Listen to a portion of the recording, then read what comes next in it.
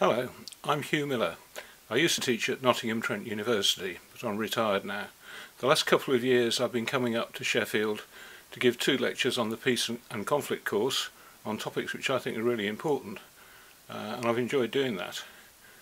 This year I'm stuck at home with a lockdown haircut, and neither you nor I are able to come to class. I'm sorry about that. I'm sorry about the haircut as well. Um, but I hope this, uh, this lecture will work for you reasonably well. I'd welcome comments and questions. You can contact me through Lisa Staniforth. The Psychology of Doing the Right Thing, Part 1. After World War II, and in particular the Holocaust, um, we developed a psychology to try and explain people's oppressive and cruel behaviour uh, with famous studies like the authoritarian personality and Milgram and Zimbardo's uh, social psychological experiments.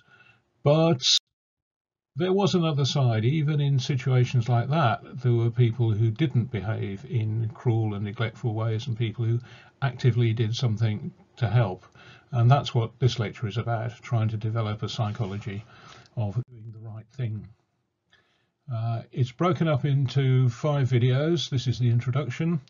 Uh, the second and third 15 to 20 minutes each are a series of case studies.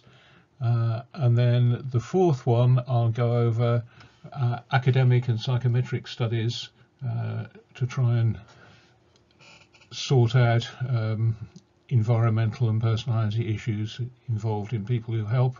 Um, and in the final session, I'll go back with more anecdotal interpretations of the case studies and what I think um, they mean, and of course a final summary.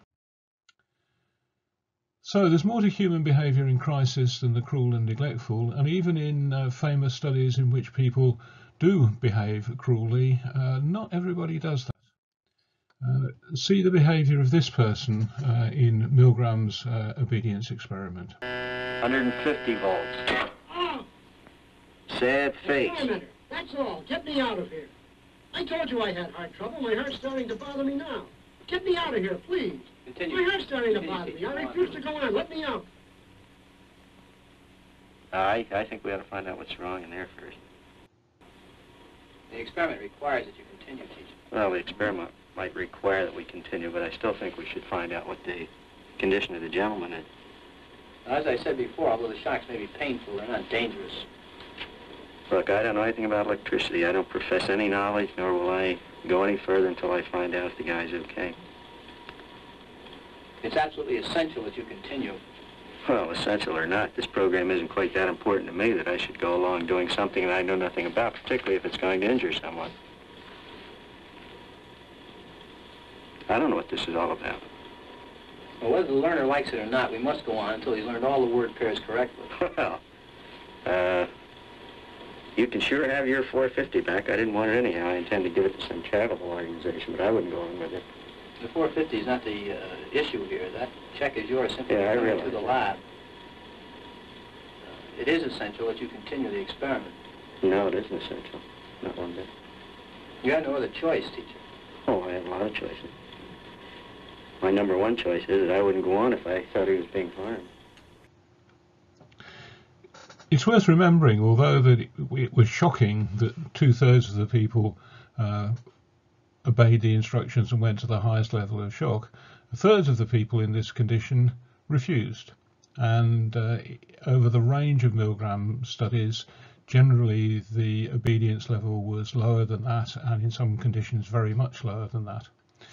Milgram was interested in uh, the people who refused and tried to work out what they were like, what was going on, and on the whole didn't succeed. I'll tell you later on about what he said about that. But um, more recently, people have gone back to review the transcripts and records from that study and come up with a, a couple of points about refusers. Gibson uh, did a rhetorical analysis.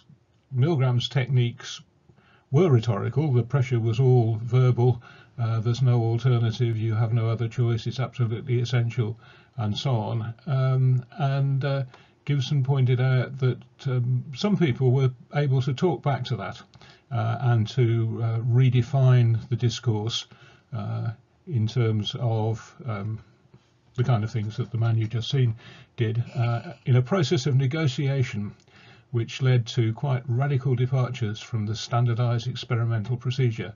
That is, they refused. Uh, and Rochat um, looked at timing.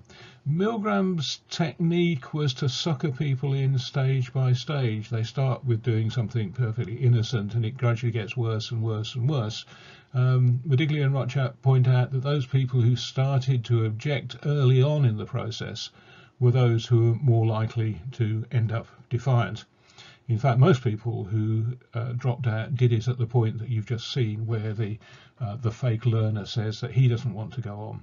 Uh, and I think it's important that people who caught on quickly to what was happening and the problems of what was happening are the people who were more likely uh, to resist when it came to the crunch. Now, this century, uh, people have started to uh, think that we should develop more ideas about this, and uh, Philip Zimbardo uh, was quite important in getting this going. Uh, and here he is talking uh, in 2012 about how his ideas developed. Okay, I gave a talk at TED, I think 2007, in which I talked about this, my journey from evil to heroism. And, and it was just an idea. In the last five minutes, I talked about um, how easy it is to get good people to do bad things. That in, in all the research that we've done and, and many, many other people have done, uh, within an hour, you get the majority of people to do almost anything by, by applying various social psychological tactics. Uh, you know, the equivalent of the um, the mystical elixir in that Dr. Jekyll did to transform himself into Mr. Hyde. And the question I raise is, what would it take to make an ordinary person engage in heroic deeds? And I said, I want really, I want to make that my mission in life to give up being Dr. Evil, who looks this way and, and did all that research, to being the good witch of the West, at least of the West Coast. Uh, and so after that talk, hundreds of people came up. First, I got a standing ovation at TED, which is relatively rare. And hundreds of people came up and said, oh my God, you have to expand on this. It's a, such a good idea. You have to um, uh, scale it up. You have to logoize it. I mean, all these terms I didn't know anything about. So I began to think more seriously about it. Uh, and then we had a little conference at Stanford exploring this notion with educators and some entrepreneurs, some um, people in, co in communications. And everybody agreed this is something worth studying, namely what does it take to be a hero? What, what, is, what does it mean to be a hero these days? And then lastly is that, uh, and so two years ago at, uh, in San Francisco, I founded the Heroic Imagination Project, which is a, a, a program uh, focused on creating a social revolution around the world, of getting people around the world, especially young people, think of themselves as heroes in training. You know, so that when the, when the situation presents itself where they have to intervene on behalf of others or to defend a moral cause, they'll be ready to do so. Um, and so, so that's where we are now. We, we have this small group, um, small staff. We're doing research, uh, education, and corporate development. Okay, so the word being used here is heroes. And when I first started doing these talks, um, that was the title that I gave it. I've since come to think that that's probably not the best title. Uh, heroes are wonderful people, uh, not like you and me, uh, and the real issue is more small-scale, everyday acts of um, defiance or, or, support. Nonetheless, uh, it's a powerful term, and um, you see that uh, Zim Zimbardo is running the Heroic Ima Imagination Project. There is now a Heroism Science Journal, which I'll give you a reference to. Um, and uh, a lot of the papers that you might read uh, will use the word uh, hero. So it's um, it's a useful search term for you, uh, and it's a, a, term which will come up repeatedly uh, in the rest of this lecture. Uh, and certainly some of the examples I will give um, are Zimbardo and um, his, uh, his, his co-workers uh, started out by trying to develop a, a, typology of heroes. uh, initially just out of their own ideas. And um,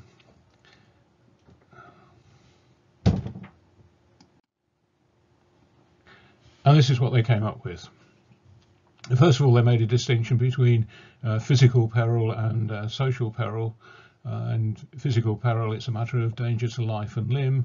Um, and this could be uh, military, but also in particular civilian occupations like firefighter uh, and paramedic uh, might be examples of that kind of hero. and then there's a range of um, social heroes, people who will are facing loss and danger, maybe not so much in the physical sense, but uh, financial, reputational, uh, loss of freedom, uh, and and so on.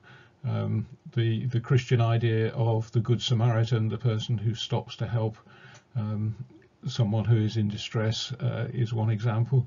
People who work within uh, the system, who use what power they may have within the structure to help others, uh, bureaucracy heroes. Um, whistleblowers, people who stand up from within an oppressive system and uh, alert others to what's going on, um, reveal the problems that exist. Uh, and people you could call social activists who are just working uh, and organizing uh, in whatever way they can uh, to uh, improve things, to help people, to save people. Uh, they also pointed out that there's another category of people that you might call heroes, people who um, overcome uh, great obstacles, people who succeed in the face of adversity, um, adventurers, underdogs, uh, political leaders, and and so on. And and although I think it's reasonable to say that you know these are heroic figures, it's a different kind of heroism from that which is directly helping other people. They tested out this um, typology on the general public by drawing up a series of case studies, uh, showing them to people and asking them to rate uh, what was described as being either heroic or altruistic or not showing heroism nor altruism.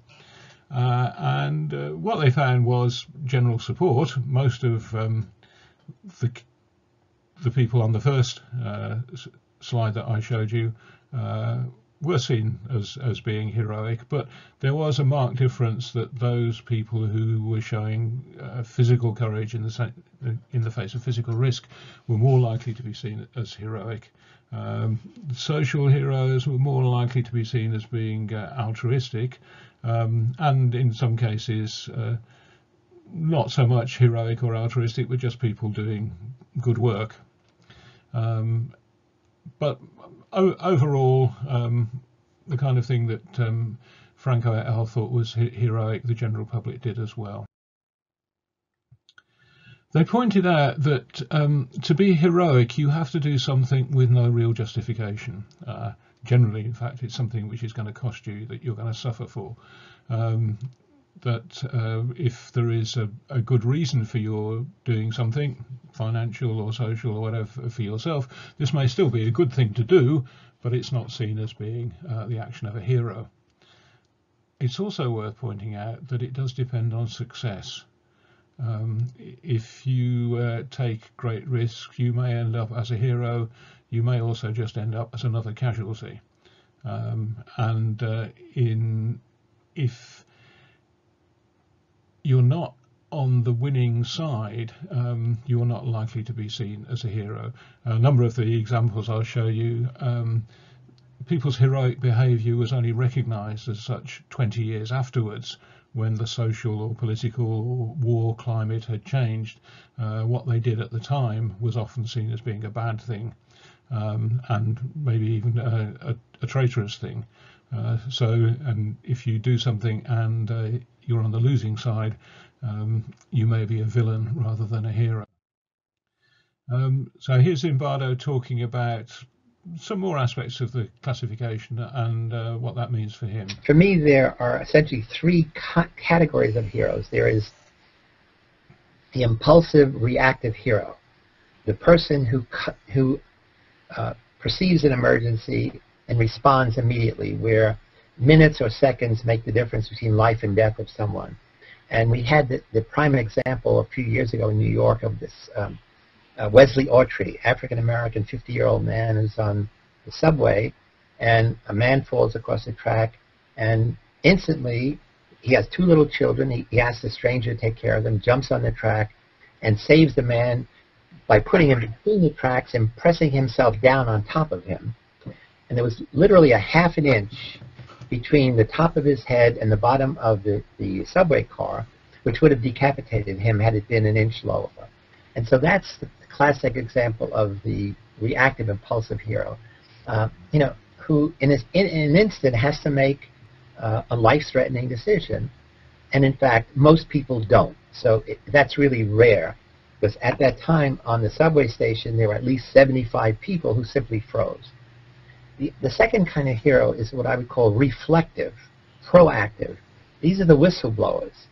They see a fraud, they see some deceit, they see some deception, they see something immoral, and they have to often collect sufficient data to present it to authorities. They often have to get people so, to support them, other people on their side, and so it takes time. It's not it's not of this instant quality, but again, as with the first kind of hero, you do it aware of the personal cost and risk. So the way heroism is differentiated from altruism is that dimension. It's it's uh, there is a cost to being a hero where where there's not to being altruistic. If you're altruistic, you give money to give money to church, you give a pint of blood, you know, every now and then to Red Cross. It's really minimal cost. To be a whistleblower, you could lose your job, you could not get promoted, um, and to be and to the other kind of hero, or in some cases, like in, in China and Russia, you get put in prison. Um, and and to be the other kind of hero, you could often lose your life. Uh, what you just mentioned is really a third kind of hero, which is someone who his whole life, whose whole life is focused on a cause. Uh, and I guess Nelson Mandela would be a model of that, or Martin Luther King, and Mother Teresa. Uh, so these are people who whose heroism is not in any single act, but it's really a, a lifestyle of make of dedicating their life to a cause, uh, to a, a, principle, and and they are they are relatively rare, but again they they are role models for us to, to, be, to begin to emulate. Um, so, so I would see those as three kinds of heroes. Now, if you ask me, well, what's the difference between them in terms of the psychology, the answer is we don't have a clue. There is no basic research as simple as even what's the difference between a reactive hero and an impulsive hero? There's got to be a personality difference. Nobody has asked or tried to answer that question. And the most amazing thing to me as I've started doing research on heroism, and in, I wrote a book called The Lucifer Effect, Understanding How Good People Turn Evil, and the last chapter is on celebrating heroism. And there was very little I could put into that chapter because I did a literature search, and there's almost no current research on heroism. The most, the, biggest body of research on heroism, heroism are interviews with Christians who helped Jews in the Holocaust. Okay. So this is a complicated area. Uh, we've got different kinds of people probably doing different kinds of things in different kinds of circumstances and, and with different time co courses. Um, so the, the immediate impulsive hero is obviously different from somebody who, even in the physical sense, is putting themselves in danger over days or weeks or, or years. Um, and um, there's also a difference in the kind of risk involved. Some things um, you will either be killed or you're not. Uh, and once the danger has passed, thing, things will be fine. Uh, other times you may be putting yourself in the, the, the chance of long-term harm. Uh, and also, I think you can make a distinction between risks and costs. Uh, some things might turn out badly or they might not, and you might be all right. Uh, other things are bound to turn out badly. This is what I mean by costs. You know that if you follow this action, there will be a loss loss of reputation, a loss of income, a loss of liberty, uh, or whatever. Um, and um, that's pretty certain. It's not a risk, uh, it's a cost. So there's a lot going on here. It's quite complicated. Uh, it's going to be impossible to make simple statements about what's happen. Um, and I'm going to move on in the next two sections to uh, some case studies, uh, and you'll see a whole range of different issues and different aspects coming out of that.